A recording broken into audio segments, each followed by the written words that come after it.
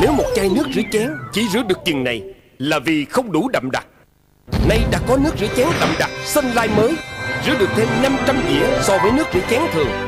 Sunlight mới Từng giọt đậm đặc, Tẩy sạch dầu mỡ, Cho chén dĩa hoàn toàn sạch bóng Sunlight đậm đặc, Rửa được thêm 500 dĩa so với nước rửa chén thường.